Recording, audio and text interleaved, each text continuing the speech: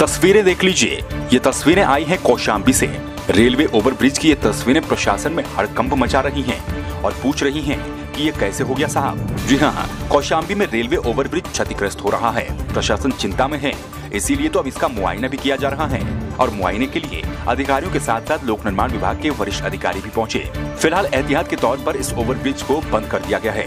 हम आपको ये भी जानकारी दे दें कि ये रेलवे ओवरब्रिज समाजवादी सरकार के कार्यकाल में बना था। लेकिन अब ये क्षतिग्रस्त हो चुका है। बताया ये भी जा रहा है कि मोरंग खदानों से ओवरलोडिंग के चलते ये ओवरब्रिज क्षतिग्रस्त हो रहा है।